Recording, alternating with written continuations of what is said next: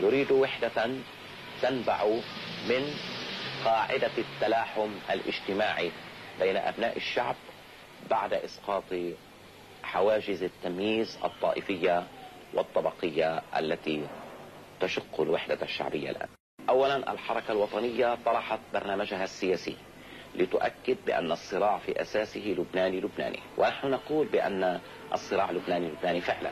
لأن أحزابنا وجدت في لبنان قبل أربعين أو خمسين سنة وقبل أن توجد المقاومة في 1965 أو 1967 ولم تتمركز في لبنان إلا في 1969 وأستطيع أن أضيف أيضا ناحية ثانية في هذا الموضوع هي أن القوات الانعزالية أعدت نفسها. منذ سنتين منذ 1973 لدورها في المؤامرة. استخدمت بواخر الأسلحة نظمت ميليشيات وكان ذلك يجري برعاية رئيس الجمهورية شخصيا السيد سليمان فرنجيجي وقائد جيشه آنذاك إسكندر غانم. ليست مقاومة في وجه طرف لبناني بل في وجه إسرائيل والانعزاليين اللبنانيين. الانعزاليين الذين يتعاملون مع إسرائيل ليسوا طرفا لبنانيا له وجهة نظر في تركيب النظام وطريقة الحكم. بل هم طرف تعامل مع العدو. هذه المعادلة يجب أن تكون واضحة لأن الأحداث قد أكدتها. ومن هنا تسقط حجة الانعزاليين أن الصراع لبناني فلسطيني إن الصراع لبناني لبناني أصلا وتحول بالمؤامرة الدولية التي استخدمت الانعزاليين لضرب المقاومة الفلسطينية إلى صراع إسرائيلي انعزالي من جهة ووطني لبناني مع المقاومة الفلسطينية ضد إسرائيل وأعوان إسرائيل. هذه هي وجهة الصراع. إسرائيل كان بهمها أنه يصير التفرقه العنصرية بالديانة بين المسلمين والمسيحية وطلع بايدها بفضل العملاء اللي نحن حاكميننا بهذا البلد.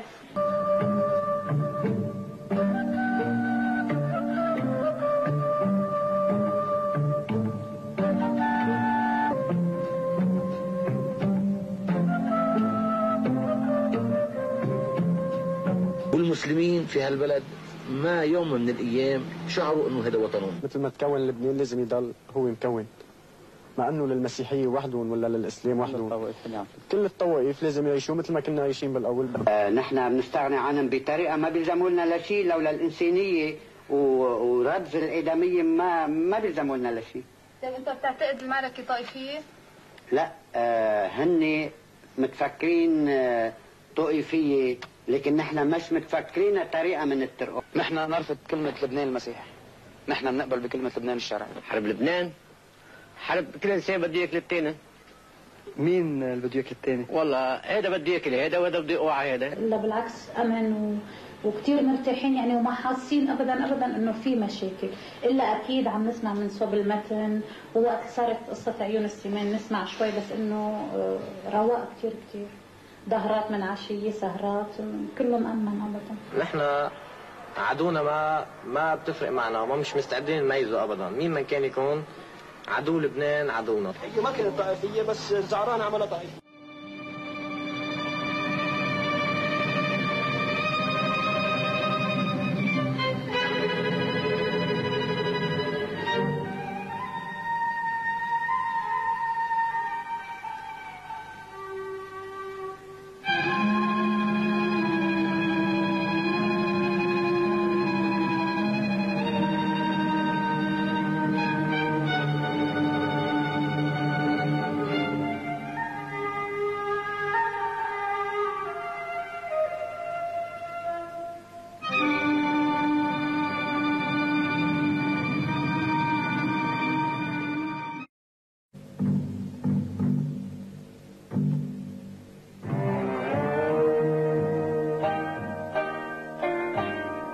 واليوم نحن عم نحرر الأراضي اللبنانية من الفلسطيني ومن الغرباء يلي هن ليبيين وعراقيين النظام اللبناني كان حافلا بالتناقضات يكفي الطائفية وتوزع المكاسب حسب مصالح المتاجرين بالطائفية من الإقطاعيين والرأسماليين في لبنان.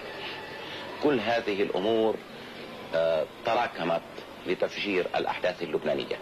ولكن لابد دائما من أن لا يضيع المحور الحقيقي لتفجر هذه الأحداث. وأعني بالمحور الحقيقي هو هجمة الحل السلمي الأمريكي الإسرائيلي على المنطقة أسباب داخلية وقديمة العهد وهي تعود إلى التفاوت بالمعاملة الذي يلحق المواطنين فهناك مواطنون من الدرجة الأولى وهم ما نسميهم هذا الفريق من الانعزاليين المارونيين الذين لا يبلغ عددهم 14% ربما أو 12% من سكان لبنان. وفريق آخر مواطنون من درجة ثانية الأرثوذكس الكاثوليك الموارن الوطنيون. وفريق ثالث من المسلمين يأتون في الدرجة الثالثة وفريق في الدرجة الرابعة والخامسة كالأرمن والبروتستانت والسريان والكلدان وسواهم.